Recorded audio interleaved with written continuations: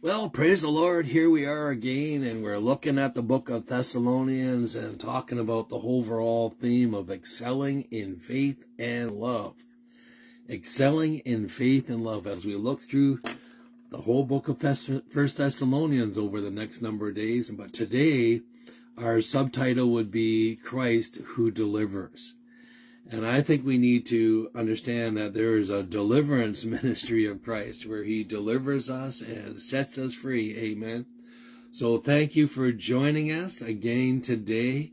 Pray that your Lord will, uh, the Lord will be good to you. We've been busy. We've actually had a few people drop in from out in BC, our, one of our grandkids, and we're grateful for that. And and then today they're heading on, so we're grateful for the fellowship. We're still working on trying to get rid of this COVID thing. If you know of anybody who needs it, let it know. We'll send it on to them. No, we won't. But it just seems like sometimes it holds on for a little while. And we've had to make some changes because of that. But we're doing okay, other than a little bit of cough here and there. So keep us in prayer. But today, Christ who delivers. And again, some of these things, as I think about them and, and pray about them as we prepare ourselves each day for teaching in the morning, is, you know, you have to ask the question sometimes do we really, really believe that? Does that make sense? You know what I mean? Sometimes we, yeah, Christ is our deliverer, but I mean, how often do we really grasp the depths of what it is that Christ does for us? And how he intercedes for us and ministers for us and sits at the right hand of the Father for us. You know, all these things. And then to make a statement, yes, Christ who delivers. Well, sometimes we need to ask ourselves the, the question is, do we really, do we really have, first of all, believe it? And second of all, do we really grasp the fullness of what it means to be delivered? And how he delivers, both in the physical realm and in the emotional realm and in the spiritual realm. You know, we were talking about this over the last couple days, Colwyn and I, concerning uh, Jesus's fleshly body and how he died on the cross and, and how the Father delivered him from death and resurrected his physical body again, delivered him from death physically and brought him into the, a physical life again to be amongst us before he ascended up on earth. And it was just thinking how, how both Jesus Christ and the Father are in the, and the Holy Spirit are in the deliverance ministry.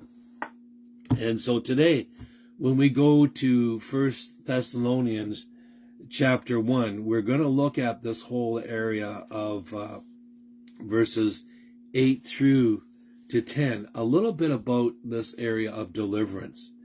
And you're not going to see it at the first in the first couple verses because it shows up, but I've extended it back over the whole section. So again, he goes to us in verse 8 and he reminds us. And one of the things you should do when you look for things in the Bible is look at how often certain words get used. And it seems like in First Thessalonians, the word for is used a lot. You know, for this reason, for, you know, this, there's always something going on that something is done for a purpose. Uh, something is given for a purpose, you know, and we see Paul telling the Thessalonian church this kind of idea because he says in verse 8, for from you the word of, of the Lord has sounded forth not only into Macedonia and Achaia, but also in every place. Your faith towards God has gone out so that we do not need to say anything. Now, he just told us that again in verse 7, where he says, so that you became examples to all the Macedonians and the Achaia who believed. Now he's going on and saying, for that reason, for you know, because you've been in examples of faith, now for that reason, the word of the Lord has gone forth. And I think that's so important. And I believe that as we go on, that the word of God has gone forth, has sounded forth in every place. And it, and I see that to really grasp what deliverance is, is to tie it together with the word faith. When we have faith to believe that God can deliver, he can set the captive free. And that takes place, you know, both with the individual and with the church. And, and, and I got thinking about this, how often when it came to the time when Jesus was either going to do a miracle or something to do with deliverance or, or whatever it may be, he, he would ask the people, do you have faith? You know, do you have faith that God can do this? And I think that sometimes when it comes to the deliverance ministry, if you were to call it that, you know, that do we have the faith? Are we delivered by faith? And I see that here because it goes on. It says, but also in every place, your faith towards God has gone out so that we do not need to say anything. The faith of God who delivered them. We're going to see who delivered them from all kinds of idols and all kinds of worldly ways. That same faith has now going out and ministering to others and it's bringing deliverance from them. You know, often when we think of the word deliverance, we think of, you know, like demons and, and the occult and other things like that. And that is true. There is all of that. And God delivers from that. But also, I believe that there is everyday type things that we pray that we need to, by faith, ask God to deliver us from. You know, I'm praying by faith that God would deliver me from this little chest cold that we have. Or some of you may be praying that you be delivered from something else that's going on in your life. And so often when we look at this word, we, we, we don't get the bigger picture of that that Christ is the one who comes to deliver us from bondages, from from from death to life. I mean, there is a multitude of things that we have to believe. Remember, Jesus said, I am the Alpha and the Omega. I am the beginning from the mm-hmm. end. If he's the beginning from the end, can he also deliver us over all areas of our lives? And to realize that that deliverance comes forth by faith.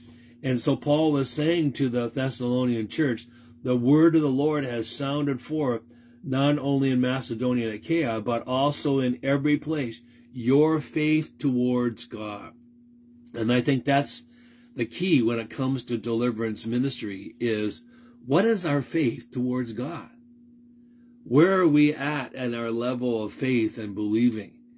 And and the thing is, it's a like we talked about yesterday. It's a growing process that we are growing into because we need to mature and understand that God is doing a work in us and He's wanting us to grow by faith. But as we grow by faith, that means there's certain things in our lives that maybe daily we need to be delivered from. And it can be a process. Sometimes some people receive a miracle and are delivered instantly from an issue in their life. And for some others, it seems like it takes days or weeks or months to get it delivered, to get all the roots of whatever is binding them, to be able to get them snipped off so they can have total deliverance. Sometimes we don't know the depth of certain things in our lives that we need to be delivered from. And, and, and and it's really a walk of faith. Do we believe that God can deliver us from some of these habits or some of these lifestyles? And sometimes it's taken us years to get into them. And sometimes we can be instantly delivered from them and walk away from them. And sometimes it will take time through the power of the word, through the power of prayer, getting into the word, letting the word get into you to deliver you from those things and not only to pray for our own personal deliverance, but to pray for deliverance for others that we know that need to be set free, some lifestyles, some habits, some things that are going on. You know, often people have allowed themselves to fall into bondage, and now that they're in bondage, they need a Christ who delivers. And I see that. So Paul was beginning to open up the door, your faith towards God has gone out. Your faith towards God, people around the area have seen how you have been set free by faith in Jesus Christ from various things. Then he goes on in verse 9 and uses the word for again. For they themselves declare concerning us what manner of entry we had to you, and how you turned from idols and served the living and true God. So Paul goes on now and he's going to say, Hey, you got delivered from idols. I, you know, culture and idols sometimes in some countries run hand in hand. What I mean by culture, like a lot of times people are bound up in things culturally. And because they're bound up in things culturally, they don't open the door for deliverance spiritually. And so when I've traveled around the world, a lot of people struggle with giving their faith to Jesus Christ because they don't want to pass from one culture of life, you know, maybe the way they've been with their parents and grandparents and great grandparents, and to step out into faith in Jesus Christ. For a lot of people, it could mean death, or it could be uh, means that you could be expelled from the home or from the community or whatever, Uh, because you're not willing to continue on with the traditions of men or the traditions of culture and Paul is saying to the church here at Thessalonians, you know, praise the Lord. I, I'm so thankful that you've been delivered from idols. And that not only that, that you welcomed us and that through the power of God, you turned from these idols to serve a true God and to serve a living God. See, North America was a thing on TV last night that talked about that the majority of the people uh, are more and more, especially in Canada, are turning away from religion, any kind of religion. They're turning away. But it's interesting in other parts of the world where we go to, there is a different religion almost on every street corner. you know what I mean? And there's all kinds of idols all over the place. North America has turned to the God of science where other parts of the world, probably two thirds of the world, you know, still believes in idols and still believes in all kinds of spirits and things like this. And this was what was going on in Thessalonica. And Paul says, I thank God that you welcomed us and that you turned to God from idols. That was a big deal. You know, again, if we don't understand, you know, uh, I remember being in one home in India. It was funny. Uh, I, I, shouldn't say it was funny because it, was, but it, to me it was a little bit humorous. Uh, one of the family members uh, worshipped uh, Christ. Another family member worshipped uh, Buddhism, and another family member worshipped uh, Hinduism. All in the same house, and they all had. Didn't they call in a? Remember that one family? They all had a little different altar and and it was funny that you could walk through the house and walk through the different idols, as it were. And uh, so they had determined instead of splitting up, they would all go. They would all still stay in the same house, but each would have their own little place of worship. And I thought, wow, that that's confusing, but that happens a lot in the other side of the world. See, the other side of the world believes there's spirits everywhere the other side of the world believes there's there is the evilness of demonicness and all those kinds of things.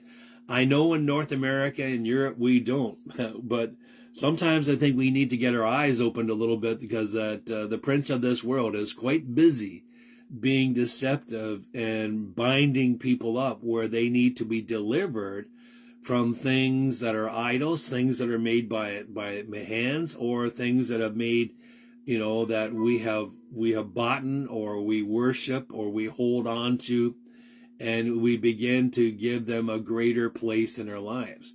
Where Paul was saying here, I thank God for you. You have turned from idols, from the worshiping of things or created things. You have turned from all those things and you have turned to a true God. So hmm. by him saying a true God means that there was other gods but now there is a true God. And not only this, he goes on and he talks about a living God. You know, can you imagine people that are worshiping, you know, created images? You know, uh, go to shrines and bow down before images. You know, uh, I know there was this one place over in in uh, Myanmar where the area that you could bow down before the the the uh, Buddha was full.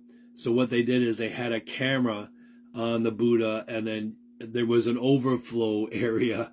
And I just thought, this isn't this interesting? Where you could go into the overflow area, and and you could take and put your mat down, and and now the picture of Buddha was on the TV, and so now you could bow down before the Buddha on TV. And I just thinking, wow, you know, this, this is a God that isn't true. And it's a God that's not living. But people were coming by the hundreds to bow down in front of this TV and to worship this God. Well, I think we have other idols that, you know, we may think that that was strange and funny, but I bet you there's a lot of television programs that people watch throughout the week in some ways that, you know, they bow down. They don't want to miss the series. They don't want to miss, you know, what happened from week because if you miss one, then you won't know next week what the next one. And I mean, you know, and so we, we look at people around the world and we say, yeah, they have got physical idols that they worship, but I can tell you that we also in North America and Europe also have lots of idols and things that we worship. Can you say amen to that? so Paul was saying, I thank God for you believers that you serve a true God. And that's the question. Those of you who are watching from the other side of the world and are caught up in other types of, of religions, are you worshiping a true God? Where you can speak to God and God can speak to you? Are you worshiping a living God? He's not dead. He didn't, you know, walk on the earth and is buried, you know, um, someplace and you keep a little morsel of that person and, and then you begin to worship, worship their hair or worship their bone or, I mean, I, I've seen it all. And the question you need to ask, are you worshiping and serving a true God and a living God. So we see that, that, we are delivered by faith and that because of that, we are, we can be delivered from idols. But thirdly, as we go into verse 10, we can see that we're delivered by Christ Jesus himself. So we're, we're given the idea here in verse 10, you know, where it says, and to wait for his son from heaven, whom raised from the dead, who even Jesus, who delivers us from the wrath to come. So here we are, you know, Paul saying, thank God that you're worshiping the true and living God. And that, not only that, but you're waiting patiently for his, the return of his son from heaven. You know, you've been delivered from the things of this world. You've been delivered from the bondage of death. And now you have been receiving the light of Christ, the power of the Holy Spirit, and you've been delivered by the name of Jesus Christ. That every knee shall bow and every tongue will confess that Jesus Christ is Lord. And, and, he, and he talks about this in such a way. Notice what he says here, and to wait for his son from heaven. So we know that Jesus ascended up into heaven. Wait for his son from him whom he raised from the dead. Well, who raised him from the dead? Well, God the Father raised him from the dead. He was raised by the power of the Holy Spirit. You know, the one true living God raised Jesus physically from death. He physically died and he was now delivered from that physical death and is now in heaven. To do what? To deliver us, just like we were, excuse me, in bondage and death, we now also are delivered from death unto life. Amen. And that's what Paul was trying to cause them to remember. But there's a little thing that gets tied on here. Not only are they also, are we also raised from the death of sin and trespasses and are going to be given and are given eternal life. So we're delivered from that, and then we've been brought into a place. We've been unhooked, unchained. The cords and the ropes are broken of this world. We've been delivered from that, and now we have been given life in Christ Jesus. And so Paul was saying, even as the Father raised Jesus Christ from the dead and seated him in heaven, he will raise you from the dead and eventually seats you in heaven also. Isn't that beautiful? Can't wait to the marriage supper of the Lamb. Amen.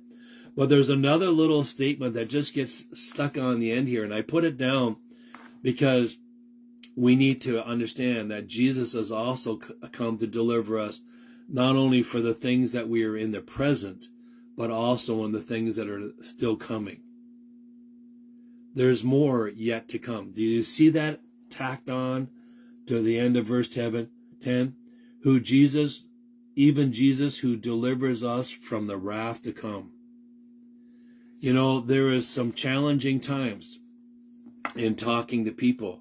There's a lot of wrath and anger and hatred and malice that's out there right now you know, and it's getting worse towards Christians all the time.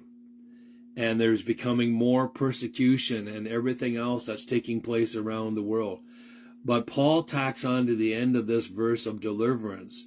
He tacks on there that also we will be delivered not only for the things that we're facing today, but also delivered in the things to come yet down the road. See, Jesus knows everything about us. He knows us from the beginning and he knows us from the end. He is, he knows how he has delivered us. He also knows how to deliver us today. And he also knows how to deliver us in the wrath yet, which is yet to come. I don't know about you, but that should give you hope. That should show you that we serve a God of mercy and love who delivers.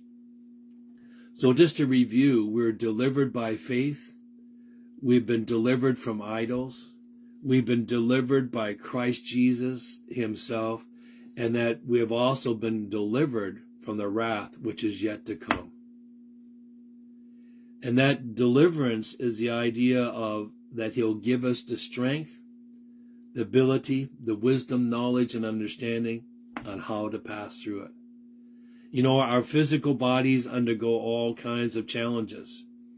But the key is, is what God is going to do with us spiritually when we go to be with Him and, and receive that new creation, the old man put away, a new body, a new name, you know, that is written down in glory. Amen. So I pray today as we conclude on this and think about how Christ, how He is the one who delivers. And I want to pray that, that the deliverance ministry of faith will increase in you today. That you will have a greater faith.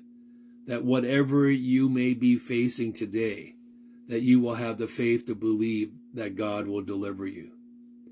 Whatever thing that you're holding on to or whatever thing that you're worshiping, maybe you don't know it right now, but that God would open up your eyes and see that what you're holding on to which is more important than Jesus Christ himself, to realize that he can deliver you from that and bring you into the place of knowing the true and living God. And to realize that the power of deliverance is in the name of Jesus Christ. That the same power that delivered him from the death will also deliver us. And then to, to really grasp that in this deliverance ministry that Jesus has for us, that he has not only delivered us in the past, the present, but he will continue to deliver us in the future, whatever we may face, whatever may comes upon us. I believe Jesus Christ can and will do that. Amen. Let's pray. Father, we thank you for the opportunity to see how Paul was grateful for the Thessalonian church, how they had been delivered, how they had been delivered from the bondages that were around them in their own city, in their own places of worship. And they had come into uh, uh, leaving idols and being delivered from idols and coming into the place of following you, Jesus. And we thank you how that when we follow you, that truly you deliver us. And I thank you, Lord, that you also remind us not only do you deliver us, but you will deliver us in the things yet to come even in the things that are going to be difficult and maybe struggles or trials down the road that will yet to come, you will deliver us. Lord, we have a hope that's in eternity, a hope that is everlasting, a hope that is a life that we will spend to you with you forever and ever. And Lord, we thank you that you've taken us out of the grips of this world and delivered us into your glorious kingdom. And we give you praise now. In Jesus' name we pray. Amen and amen. I pray that that has helped to have a little bit better understanding of how Christ is one who delivers. Amen. We love you. Keep on keeping on. And Lord willing, we're going to pray throughout the day that God continues to deliver not only things that we need to be delivered from, but as we pray for family members and children and grandchildren and whatever churches, that that fullness of God's deliverance ministry, you know, around the world and all these different countries that we've been praying for, eh, that God's deliverance ministry, the fullness from beginning to end will be completed according to his will. Amen. Love you. Keep on keeping on. And Lord willing, we hope to see you again tomorrow. Amen. Bye bye.